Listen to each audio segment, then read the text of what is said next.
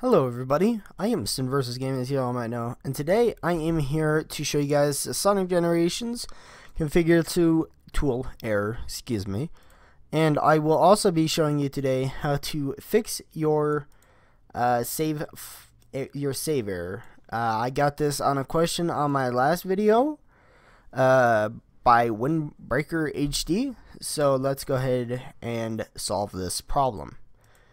So, uh, I will first show you how to fix the save error because it is the easiest thing in this whole uh, spew of everything to fix. So let's go ahead and do this.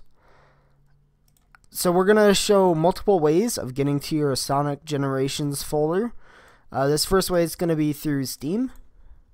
So we have our whole list of games here on the left. Go ahead and find your Sonic Generations. Right click it, go to Properties, and just go to your local files tab right there at the very top. Click Browse Local Files. Now you should be at the Sonic Generations folder. Now if you don't have Steam open but you still want to fix this, you can go ahead and go to the bottom left of your screen. Go ahead and click the Start button and go to Computer. Now I do have Sonic Generations stored on a separate hard drive but today I am going to show you how you would regularly get to it. So you double click on your C drive, which is your Steam drive, or wherever you installed Steam on. Now there's going to be two program files folders. Now this is going to be a little bit important. If you have a 64-bit system, you're going to want to go to Program Files x86. If you have a PC that only has program files, that means you have a 32-bit system. Uh, that isn't a huge deal. Just make sure if you have a 32-bit system, you're going into program files, not program files x86, or else you will not be able to find the Steam folder. So I run on a 64-bit system, uh, operating system, Windows, as you can tell. So let's go ahead and open up program files x86. And I'm going to just scroll down here until I find Steam right there. No, it's a little hard to see. Let's see if I can go ahead and scroll in there. There we go. Right there. Steam. Uh, most people's folders will look more like this. So just scroll down until you find Steam and you should be all fine. Go ahead and open it up. And oh goody, more files to search to. This one's actually pretty easy to find. It's just called Steam Apps. Just look for Steam again, go one under, and it should be Steam Apps. Go ahead and open that up. Here we go, we're in another folder, and there's a folder in it called Common. Go ahead and open that. And this is where your all your games should be stored. Now I have it I have Sonic Generations on a different hard drive. So I'm going to navigate over there.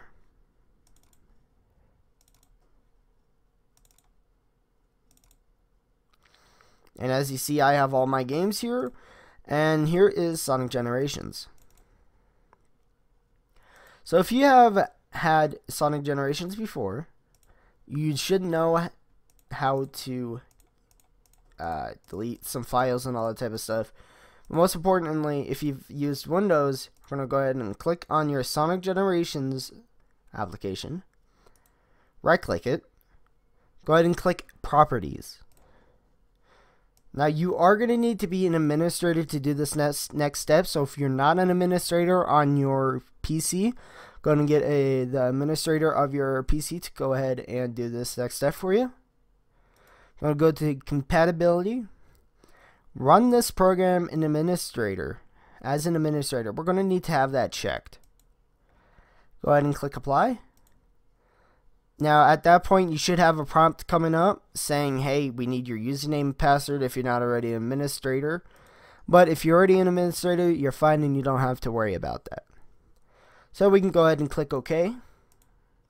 And there you go. That should be fine. You should be able to be fine with the save, uh, the save error.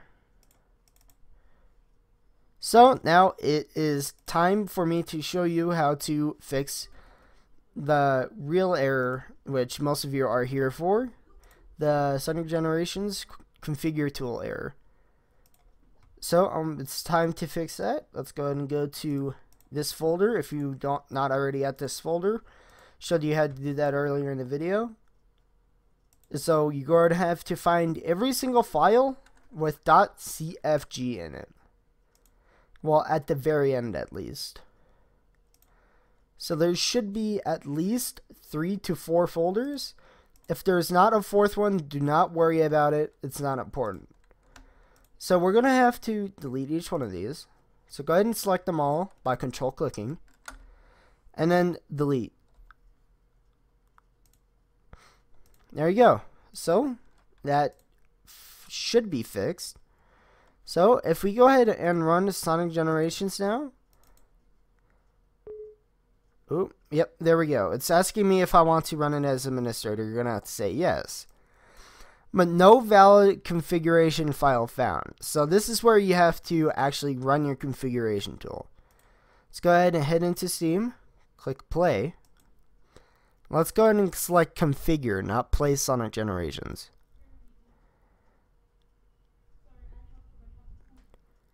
Here we go.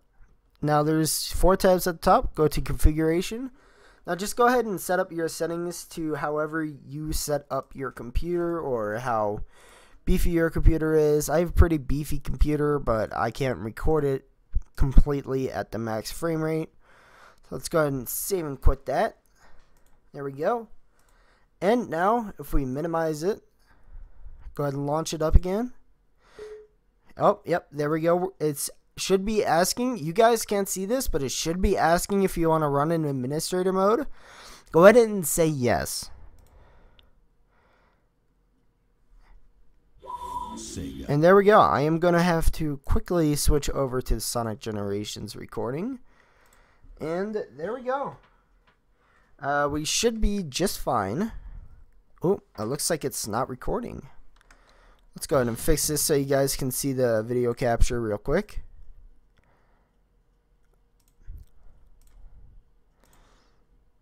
So it is going to be a little bit laggy.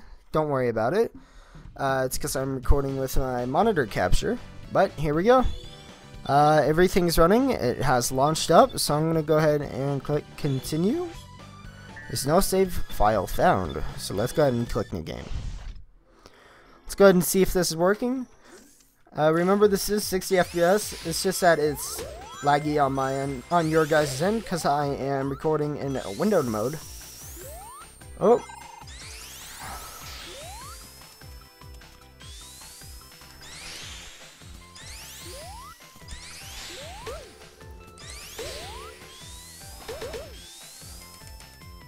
There we go.